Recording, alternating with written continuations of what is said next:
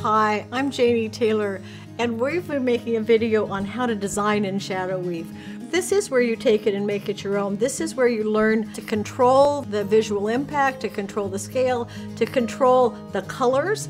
There's so much to learn in this video. I hope you're going to have some fun with it. I know I did.